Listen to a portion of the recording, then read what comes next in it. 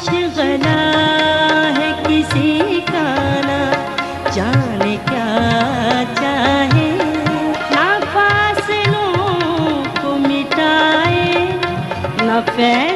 पाकिस्तान की तारीख में कई हीरे सामने आए हैं, जिनमें एक नाम गुल बहार बानो का भी है। इंतहाई सुरीली आवाज़ के बायस गुल बहार को बुलबुल बहावलपुर का भी खिताब दिया गया। गुल बहार ने कई एक लाजवाल गजलें गाई। बड़े बड़े गायकों की मौजूदगी में अपना मुकाम बनाया। गुल बहार ने पाकिस्तान से निकलकर दुनिया के दूसरे मालिक में भी फन के मुजाहरे किए। वो इंडस्ट्री का एक मोतबर नाम थी। एक आम से घराने से ताल्लुक रखने वाली गुलबहार ने ज़िंदगी में बहुत कामयाबियाँ समेटी, ख्वाब पूरे किए। एक काबिल कदर रूज देखा, लेकिन उनके सवाल का सुनकर रूह काँप जाती है। किस तरह ये अजीम गायक कराची की सड़कों पर बेयारों मददगार फिरती रही और आज भी जहनी माजूरी का शिकार होकर कमरे में बंद पड़ी है।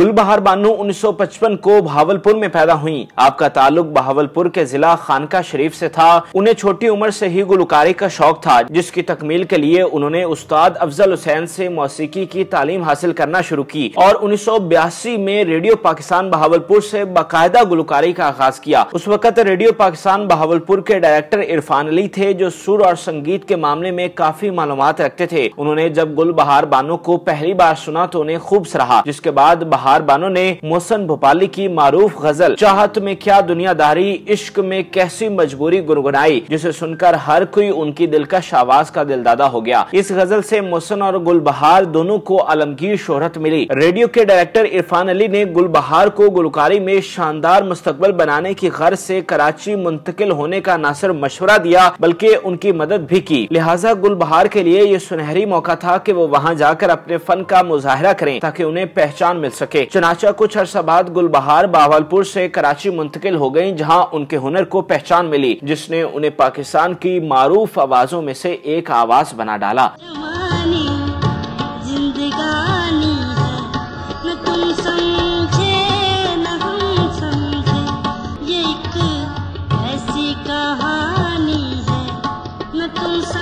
खुश शक्ल और खुश गुलू गुलकारा ने फिल्मी गीतों के बजाय काफियाँ गाने को तरजीह दी, क्योंकि उनके आवाज़ में जो वसत थी, वो फ़िल्मों के महदूद सांचे में नहीं ढल सकती थी। चुनाचे उन्होंने गज़ल और काफ़ी की तरफ़ अपनी तवज्जो मबजूल की और इसी इसनाफ में अपना नाम बनाया। गुलबहार बानो ने अपने मुनफरद अंदाज और बेहतरीन अदायगी से देखते ही देखते गज़ल गायकी में मुनफरद मुकाम बना लिया। मेहदी हसन, फरीदा खानम समेत कई बड़े नामों की मौजूदगी में गुलबहार के लिए अपनी जगह बनाना इस बात की गवाही थी कि वो अपने अपने फन में किस कदर माहिर थी। उन्होंने पंजाबी के साथ साथ सिंधी और शराकी ज़ुबान पर मुश्तमिल कलाम पर कमाल महारत से पढ़ा, जिसकी बिना पर उन्हें बहावलपुर की बुलबुल का खिताब मिला।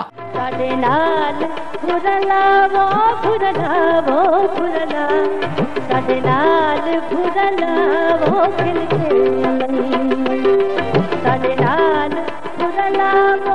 चाहत में कैसी दुनियादारी जैसी लाजवाल गज़ल से शोहरत पाने वाली गुलबहार बानो ने अपने करियर में, हमें जहाँ में क्या क्या ये रंग ढल गई रात, फिर कहा मुमकिन दर्द के साज, और जाए इस गुल की तरफ़ जैसी गजलें गुनगुनाई, जिसे पाकिस्तान के साथ साथ दूसरे मालिक के लोगों ने भी खूब पसंद किया। अपने लाजवाल फन की बुनियाद पर गुलबहार बानो ने न सिर्फ़ पाकिस्तान, बल्कि बैरून मालिक में भी म्यूजिकल शोज़ किए, और अपनी मुनफरद आवाज़ ऐसी सुनने वालों पर सहर तारी किया। गुलबहार बानो इंतहाई खुशकिस्मत साबित हुई थी कि उन्हें कलील मुद्दत में ही इस कदर शोहरत और इज़्ज़त नसीब हुई, जिसे हासिल करने के लिए कई फनकार बरसों से कोशिश कर रहे थे। इस हवाले से कहा जाता है कि गुलबहार खानका शरीफ की मारूफ रूहानी ख्वाजा मुहकम दीन सिरानी के साथ खसूसी अकीदा रखती थी। वो साल में कई मरतबा उनके मजार पर हाजिरी देती और उनकी शान में कसीदे पढ़ती थी। लिहाजा इसी अकीदत के समर में उन्हें ये सब कुछ मिला।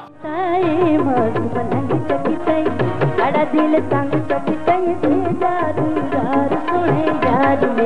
तौबा मेरी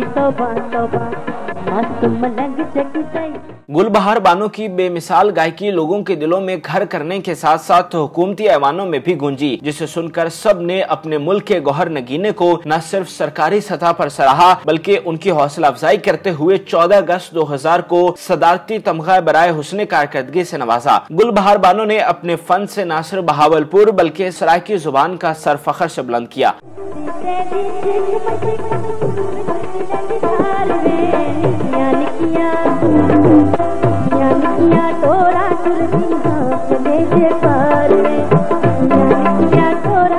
गुलबहार बानो ने अपने करियर के दौरान शादी की और कराची के इलाके गुलशन इकबाल में रिहायश पजीर थी, जहाँ वो खुशगवार और मुतबिन अजतवाजी ज़िंदगी बसर कर रही थी। उनकी ज़िंदगी में पहला तबाकुन मोड़ 2009 में आया, जब उनके शोहर की वफात हो गई, जिसने उन्हें जीते जी मार दिया। क्योंकि उनका इस दुनिया में अपने शोहर के अलावा कोई न था, चुनाचा अपने शोहर से बेपनाह मोहब्बत करने के बायस गुलबहार इस सदमे से ना निकल सकी। इस दौरान उन्होंने गुलकारी को तर्क कर दिया और अपना तमाम तर वक्त घर में गुजारने लगी, जिसकी वजह से उन्हें दिमागी मसाल साल लाक हो गए और वो शिजोफेनिया का शिकार हो गई उन्हें कराची की सड़कों आरोप मुतद बार बिहारों मददगार फिरते देखा गया और सितम जरीफी देखिए की इस मुल्क की माया नाज गायक गुलबानों की किसी ने मदद न की और कोई ये न जान सका की उन्हें किस तरह शोहर की मौत ने पागल बना दिया है।